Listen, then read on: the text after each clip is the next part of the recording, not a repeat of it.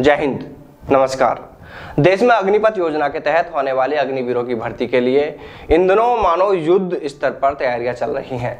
किसी भर्ती के लिए ऑनलाइन आवेदन के लिए नोटिफिकेशन जारी किया जा रहा है तो किसी भर्ती के एडमिट कार्ड जारी किए जा रहे हैं। तो किसी भर्ती के लिए तैयारियों को लेकर अब अलग अलग राज्यों के जिलों में जिला प्रशासन व सेना के अधिकारियों के बीच बैठकों का दौर जारी है। इधर आज से गुजरात के अहमदाबाद, यूपी के अमेठी, बिहार के दानापुर, राजस्थान के जोधपुर और मध्य प्रदेश के ग्वालियर सहित और भी देश भर के कई सेना भर्ती कार्यालयों के लिए आज से ऑनलाइन आवेदन शुरू हो रहे हैं। अहमदाबाद सेना भर्ती के नोटिफिकेशन जारी नहीं होने को लेकर अब से पहले युवाओं के लगातार मैसेज आ रहे थे, वो पूछ रहे थे, सर, कब से फॉर्म शुरू होंगे? तो उन युवाओं का नोटिफिकेशन भी कल जारी हो गया है और उनके आज से ऑनलाइन आवेदन शुरू हो गए हैं।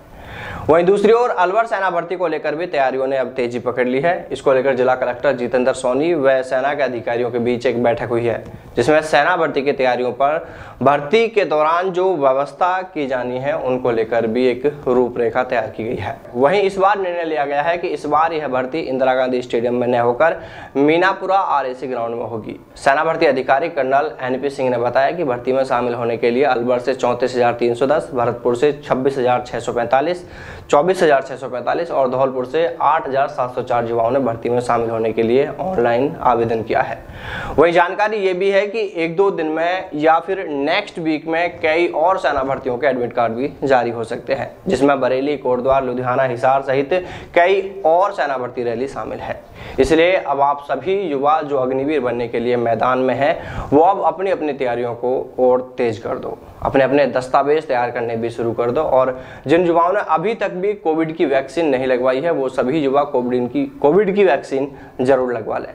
जिन युवाओं ने एक ही डोज लगवाई है, वो युवा अपनी दूसरी डोज लगवा लें और जिन युवाओं ने दोनों डोज लगवा ली है तो वो युवा कोविड की बूस्टर डोज भी लगवा लें। इसके लिए आप सभी अपने अपने नज़दीकी सरकारी अस्पताल जाकर इस बारे में और अधिक जानकारी ले सकते हैं। तो साथियों, अब आपके पास तैयारियों के लिए ज़्यादा समय नहीं बचा है। आप अपनी तैयारियों में जुट जाएँ, लेकिन इस बात का बेहद ध्यान रखें कि तैयारियों में जोश के साथ होश में रहकर ही तैयारी करें। एक साथ आप अपने शरीर की क्षमता से अधिक ज़्यादा ज़ोर बिल्कुल भी न लगाएँ, ताकि आपको किसी तरह की कोई परेशानी न हो। और दौड़ते समय इस बात का बेहद ख्याल रखें कि अगर आप सड़क पर दौड़ते हैं तो सड़क पर अंधेरे में किसी गड्ढे में आपका पैर न पड़ जाए, कोई मोच या कोई फ्रैक्चर न हो जाए। और अगर बारिश के चलते मैदान में फिसलन हो रखी है तो भी दौड़ते समय सावधानी बरतें। कहीं आपके साथ कोई दिक्कत न हो जाए। दूसरी ओर वो युवा जिनका आर्मी का एग्ज़ाम पेंडिंग है, एयरफोर्स का रिज़ल्ट व एनरोलमेंट लिस्ट जारी होना बाकी है, वो युवा अपने हक के लिए 10 अगस्त से जयपुर से दिल्ली के लिए पैदल कूच करने वाले हैं। इस आंदोलन में देश भर के युवा शामिल हो रहे हैं, क्योंकि सरकार ने उन युवाओं के साथ गलत किया है, उनसे उनका हक छीना है। और उनका जो भर्ती है पुराना, उसको रद्द कर दिया है। इसलिए हम आप सभी युवाओं से कहना चाहेंगे कि आप जिस भी तरह इन युवाओं को सपोर्ट कर सकते हैं, उनका साथ इस बुरे दौर में ज़रूर दें। देखिए, हमें ये भी पता है कि जिन युवाओं ने ऑनलाइन आवेदन किए हुए हैं, वो युवा उनके साथ दिल्ली तक जाकर तो उनका सहयोग नहीं कर सकते, पर आप इतना तो कर ही सकते हैं कि जब वो युवा पैदल मार्च करते हुए आपके गाँव, आपके शहर से गुजरें तो आप उनका हौसला ज़रूर बढ़ाएँ। अगर खान पान को लेकर आप उनकी किसी भी तरह कोई मदद कर सकते हैं तो उसमें भी आप उनका सहयोग ज़रूर करें। क्योंकि जो खुशी आज उन युवाओं को है, जो अभी इस भर्ती में शामिल होने वाले हैं, कभी वही खुशी उन युवाओं ने भी देखी थी।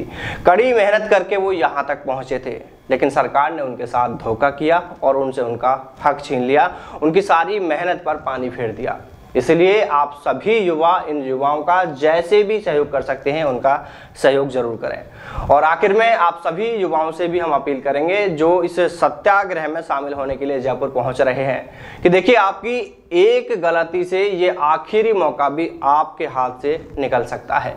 इसलिए कोई भी युवा सत्याग्रह में कोई हुड़दंगबाजी या किसी भी तरह कोई भी ऐसा कार्य न करे, जिससे कि कानून का उल्लंघन होता हो या आम जन को कोई परेशानी होती हो। आप सभी शांतिपूर्वक तरीके से अपना पैदल मार्च करें। क्योंकि 25 अगस्त को आपके हक की इस लड़ाई को लेकर दिल्ली हाईकोर्ट में सुनवाई होनी है। और जहाँ तक इस मामले को लेकर वकीलों का कहना है, उनका यही कहना है कि युवाओं को कोर्ट से न्याय ज़रूर मिलेगा। देखिए साथियों, इस सत्याग्रह को लेकर रविंदर भाई फौजी ने ऐलान कर दिया है। उन्होंने इसकी पूरी रूपरेखा तैयार कर ली है और उन्होंने युवाओं को भी यह मैसेज दे दिया है कि वो दस तारीख को सभी युवा जयपुर पहुँचे और दस तारीख को पहले एक बार जयपुर कलेक्ट्रेट पर वहाँ पर सत्याग्रह करके वहाँ पर कुछ इवेंट करने के बाद में वहाँ पर कलेक्टर साहब को एक ज्ञापन दिया जाएगा और उसके बाद वहाँ से वो रवानगी करेंगे। इसके आगे की जो भी रूपरेखा है, वो रविंदर भाई फौजी से आपको जानकारी दे रहे हैं और जैसे ही हमें भी इसके बारे में अधिक जानकारी मिलेगी तो हम भी आपको इसके बारे में पूरी जानकारी देंगे। तो चलिए साथियों, फिर मिलते हैं सेना भर्ती से जुड़ी किसी नई अपडेट के साथ। तब तक सावधान रहें, दलालों से दूर रहें। अपना और अपनों का ख्याल रखिएगा। जय हिंद, जय भारत। वंदे मातरम।